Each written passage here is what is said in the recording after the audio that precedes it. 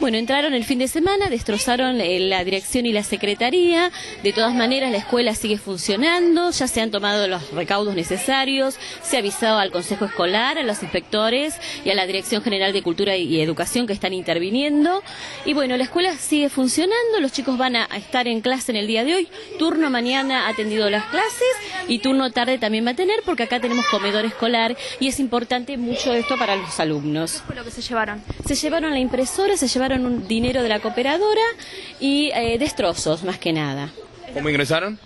E ingresaron por el patio trasero. Estamos investigando bien por dónde fue el ingreso. ¿Ya había pasado alguna vez esto? Sí, a principios de años también entraron a, a robar vajillas, mercadería y demás cositas de la escuela pequeñeces.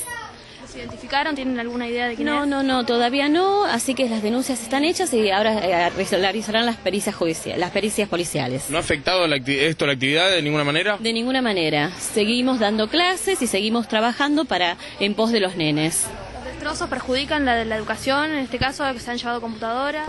Sí, sí, sí, pero vamos a, a tratar de reponerlas. Nosotros acá trabajamos un montón para que los chicos tengan lo que necesiten y la escuela tenga lo que necesite. ¿Creen que puede ser gente del barrio? Puede llegar a ser, no sabemos, eso no te puedo dar información.